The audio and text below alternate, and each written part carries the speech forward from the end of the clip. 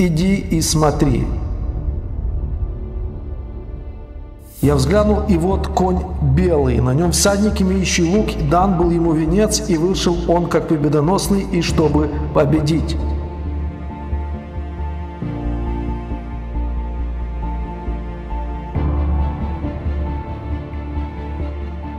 Мир вам, братья сестры христиане. Как взаимосвязаны четыре всадника?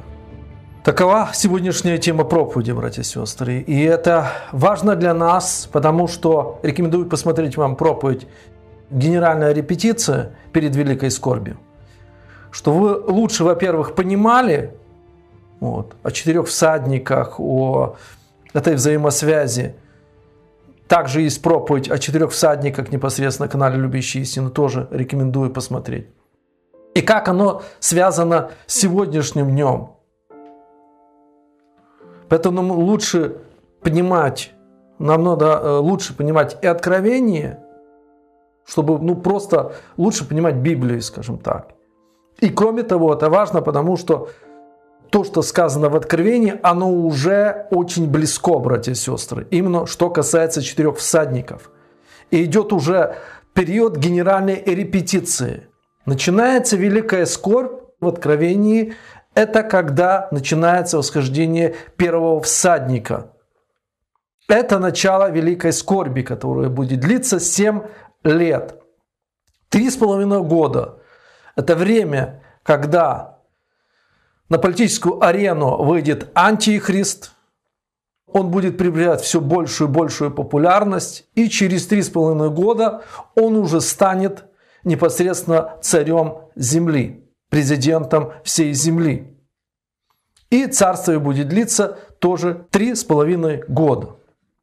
Я хочу прежде всего, чтобы зачитать, зачитать Слово Божие – и я видел, что Агнец снял первую семипечатель и услышал одно из четырех животных, горящих как бы громовым голосом. «Иди и смотри». Я взглянул, и вот конь белый, на нем всадник, имеющий лук, дан был ему венец, и вышел он как победоносный, и чтобы победить. И когда он снял вторую печать, я слышал второе животное, горящее «Иди и смотри». И вышел другой конь рыжий, сидящий на нем, дано взять мир земли, чтобы убивали друг друга, и дан ему большой меч. И когда он третью печать, я слышу, третье животное горящее, иди и смотри. Я взглянул, и вот конь вороной, на нем всадник, имеющий меру в руке своей. И слышал я голос посреди четырех животных, горящих хиникс пшеницы за динарий и три хиникса ячменя за динарий. Елей же и вина не повреждая. Когда он снял четвертую печать, я слышал голос четвертого животного, горящее, иди и смотри. Я взглянул, и вот конь бледный, и на нем всадник, которому имя смерть. Я следовал за ним, и дано ему власть на четвертую частью земли умерщвлять мечом и голодом и мором и зверями земными. То есть мы видим, братья и сестры, восхождение четырех всадников. Напоминаю вам, первый всадник – это антихрист, это не Христос. Христос – победитель, а не как победоносный. И с мечом, а не с луком. Есть тоже на канале «Любящий истину» а, четырех всадник, тщательно разобрана эта тема, эти вопросы. Второй – это, конечно же, всадник войны, то есть это князь бесовский, который имеет армию бесов, которые будут побуждать людей воевать. Всадник три – это уже князь бесовский, который будет содействовать бедности, нищете, голоду на земле. И четвертый всадник – это уже непосредственно болезни и, следовательно, смерть. Смерть. Как взаимосвязаны эти всадники, братья и сестры? Ну, во-первых, они будут идти вместе, чтобы вы понимали отчетливо. Начало восхождения этих всадников, начало появления на политической арене Антихриста, это начало великой скорби, это начало восхождения этих четырех всадников – Первый будет более видимый, то есть это будет, еще раз говорю, появится на политической арене человек, насколько я понимаю, неизвестный ранее антихрист, и он будет набирать очень сильные обороты своей популярности. И вместе с тем он будет закулисно влиять и, можно так сказать, руководить этими процессами, которые, в которых будут задействованы три остальных всадника. Войны, нищета, голод и болезни и смерть. Для чего это будет сделано, братья и сестры? Во-первых, это замысел тайны беззакония. Вот этих разных тайных лож, масонских лож, они вместе образуют тайну беззакония, которая отчетливо написана в Слове Божьем, что она действует, но ее цель воздвинуть антихриста, и чтобы скажем так, власть перешла в их руки на всей земле, во всех государствах. Выполнять эту работу, то есть за три с половиной года нужно, чтобы антихрист стал насколько популярен, насколько влиятелен, чтобы мог уже и путем некого такого авторитета, популярности, славы, иметь влияние на людей, но также и силовой метод. Нужно за короткое время, за три с половиной года, чтобы власть перешла к антихристу. Реальная политическая власть перешла к антихристу. Как это сделать, братья и сестры? В реальности это не так просто. Вот идет даже сейчас война Украины с Россией. Россия два года воюет против Украины, и, скажем так, существенных каких-то продвижений, изменений нет. Это нужно будет, чтобы все государства, все цари начали подчиняться Антихристу. Как это реально сделать? Мы читаем Слово Божие. И десять врагов, которые ты видел, суть десять царей, которые еще не получили царство, но примут власть со зверем, как цари, на один час. Они имеют одни мысли и передадут силу и власть свою зверю. Уже сейчас формируется, братья и сестры, вот, 10 мега-государств. Президентами этих государств, царями этих государств будут только люди, когда уже непосредственно начнется Великая Скопь а уже идет подготовка к этому, обязательно с тайны беззакония, с этих масонских лож. Потому что написано, они имеют одни мысли. И вот каждому вот этому царю, этому мегагосударству будет поставлена задача все рядом стоящие государства, более мелкие, взять под свой контроль. Фактически воцариться. То есть с мира, с мира будет создано 10 таких империй. 10 империй. И надо за 3,5 года, чтобы царь каждого этого мегагосударства мог подчинить себе остальные, сейчас около 200 государств. Значит, если разделить, значит, каждое государство, оно должно подчинить себе 19 государств в среднем. В среднем. То есть 10 государств должны разделить свое влияние на, во всем мире. Сейчас есть около 200 государств, то есть приблизительно около 19-20 государств должны пойти в подчинение одного мегагосударства. Или стать их колониями или стать их штатами, или стать их просто как областями. То есть фактически потерять свою независимость. В реальности свою независимость. Это задача непростая, еще раз говорю. Вот Россия, вот эти имперские амбиции, которые у Путина хочет в некой мере возобновить СССР, и он пытается Украину взять под свой контроль. Два года воюет, и существенных изменений нет, продвижения нет. Понимаете, это нужно будет не, не одно государство, а 19 государств за 3,5 года обязательно взять под свой контроль. И когда вот эти цари возьмут под свой контроль вот этих 19-20 государств приблизительно – Вот. Они станут такими, э, скажем так, тоже императорами, мега-царями. Но недолго, недолго будет продолжаться эта их власть, как написано, на короткое время. Потому что они эту власть передадут антихристу. Антихристу. Это будет все, будет договоренность определенно. Она, они передадут эту власть антихристу. А у него они будут, конечно же, приближенные люди, то есть э, заместители, возможно, как крупные такие, как область, облначальники или там по-разному они могут называться, братья и сестры. Чтобы сделать эту работу непростую, выходит второй всадник, именно всадник войны.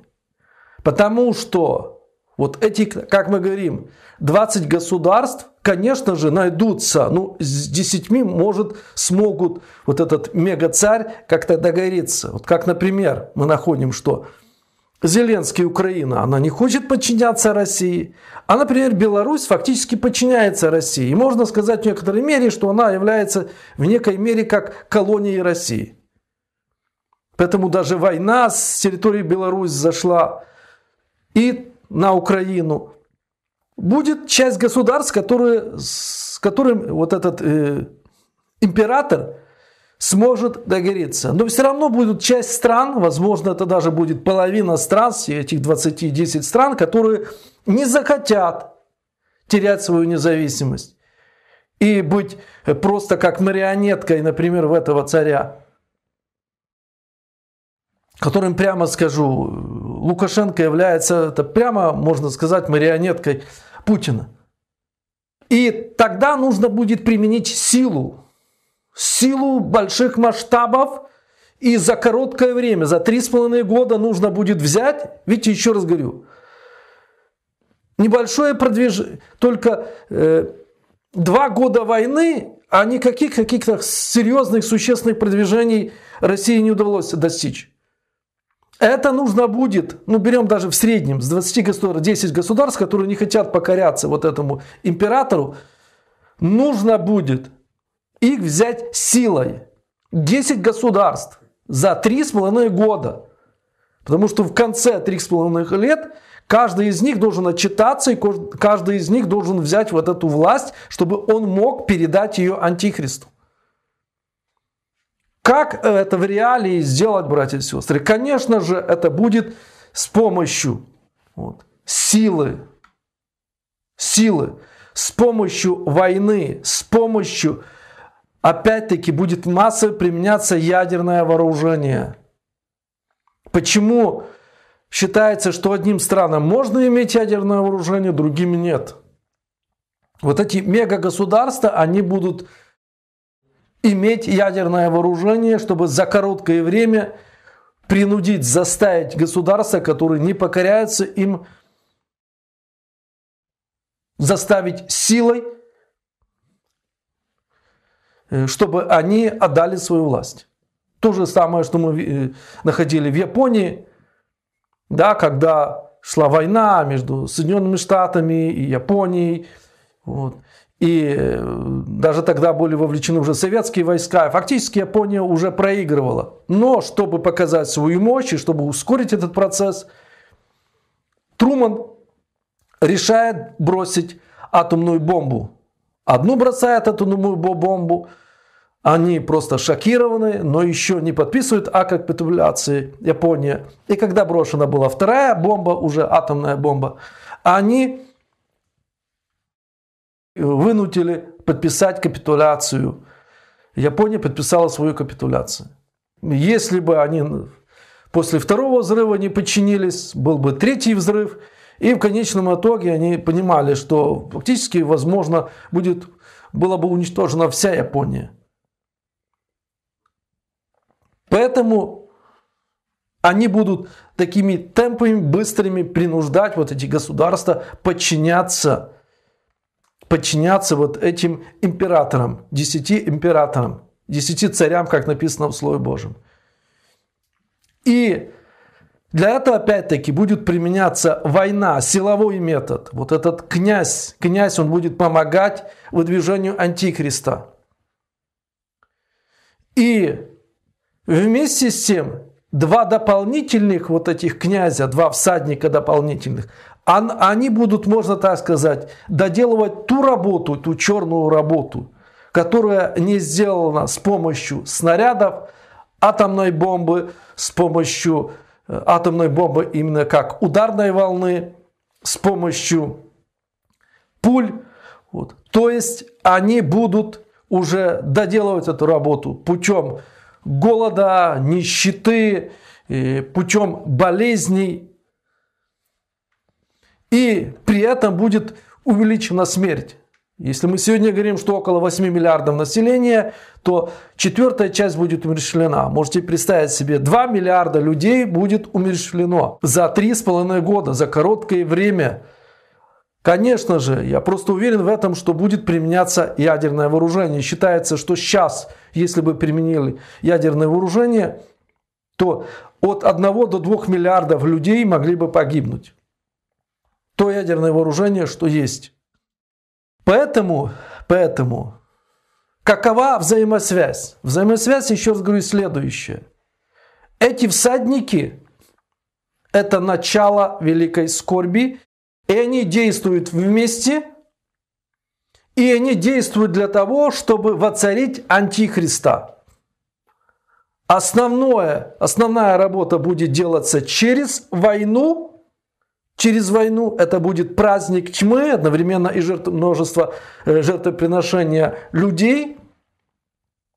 И вместе с тем работа по выдвижению Антихриста воцарению Антихриста. И основную работу по этому будет делать князь войны через войну. Вот. Через этот силовой, силовой метод будет забираться власть, и все цари мелкие, все государства мелкие, они подчинятся этим крупным мегагосударствам, мегацарям. А те, в свою очередь, передадут власть Антихристу, который через три с половиной года станет уже царем, президентом всей, всей земли. И еще раз говорю, помогать в этом будут всадник нищеты, голода и всадник болезни и смерти. То есть они будут, можно скажем так, то, то что не уничтожила война, то, что не убила война, будет уничтожена, доделана вот эта черная работа с помощью нищеты, голода, с помощью болезней. И это все приведет в конце концов, вот как завершение, четвертый всадник, завершение приведет к массовым, к массовым смертям людей. Поэтому еще раз какая взаимосвязь? Первое, они выдвигаются вместе – Второе, они действуют для того, чтобы воцарился антихрист. И третье, третий и четвертый всадник – это как дополнение к первому всаднику. Поэтому все будет вращаться, навколо, все будет вращаться возле антихриста, его воцарения. И делаться основной метод – это будет с помощью войны. А как дополнение, потому что война несет за собой нищету, голод, болезни – будет доделывать остальную работу вот, эти, вот этот третий и четвертый всадник. Такова роль и такова взаимосвязь вот этих четырех всадников с откровения Иоанна Богослова. И да поможет вам Бог еще больше углубляться в исследовании Писания, еще глубже понимать Слово Божие, а и очень важно исполнять Слово Божие, братья и сестры, потому что время коротко. Нужно бодрствовать. Время, можно сказать, сейчас, когда идет зов, грядет жених. Понимаете, идет приближение, восхищение церкви и, соответственно, великой скорби. Поэтому бодрствуйте, бодрствуем велико, братья и сестры. Аминь.